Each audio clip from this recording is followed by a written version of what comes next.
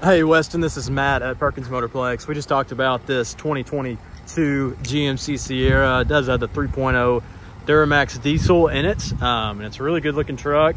Um, you asked obviously about dings, scratches, things like that. And the best way to show you is this video. I'm just gonna walk around it, show you any imperfections that I see on it. Um, overall, it's in really good shape. Of course, all of our vehicles are used. We're not a new car store, anything like that. So none of our vehicles are perfect.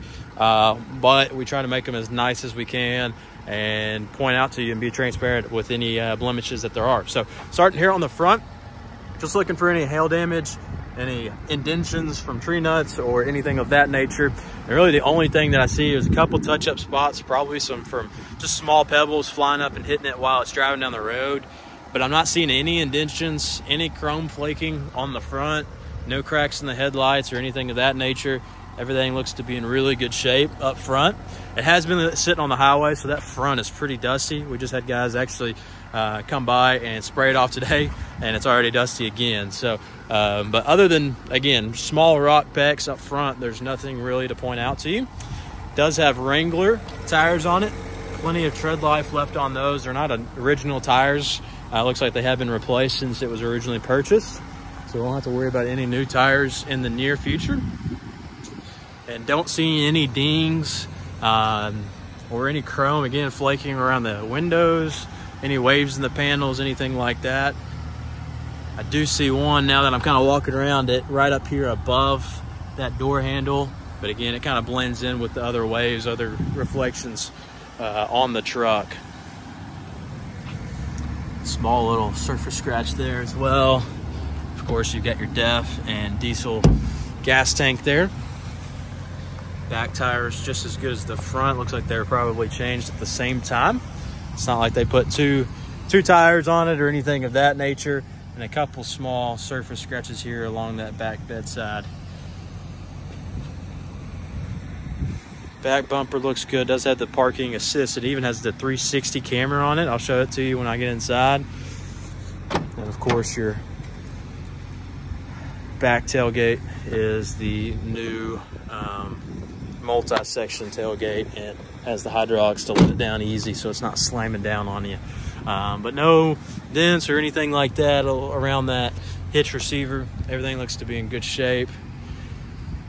Spray and bed liner looks great. And even the plastic up here doesn't look like they used it for work much at all, if any. Everything looks to be in really good shape. Clear coat on the wheels. Not seeing any flaking on that. It's a pretty common thing that you'll see on these GMC wheels. Small surface scratch there. But don't see any signs of that starting on this one. Of course, the interior is in phenomenal shape. It's got the factory carpet floor liners, back heated seats. Of course, the new body styles have added the storage in both of the back seats as well. Are in great shape passenger seat.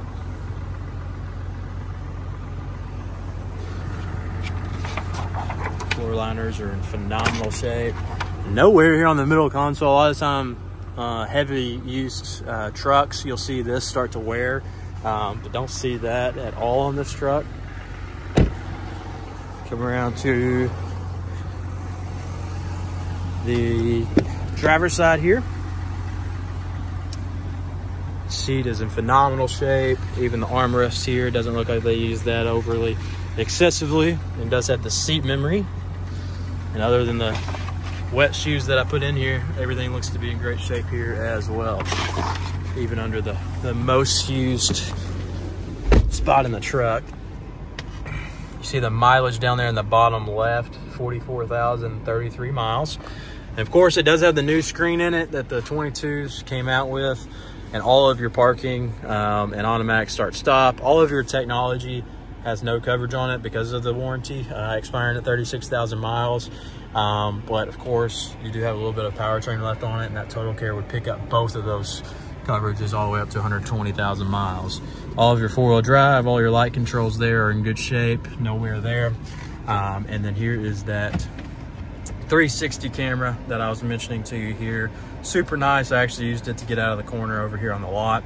Uh, and then you've got all of your other options here, your blind spots, uh, your hitch, if you're hooking up a trailer, uh, all those super nice things that I wish I had when I was uh, mowing yards. Um, but glad uh, those are options for everybody now. But cosmetically, everything looks to be in great shape. If you have any questions on it, let me know. I hope I hit everything um, that you would have questions on, but uh, I know I don't always get to everything. So let me know if you uh, had any other additional questions or concerns.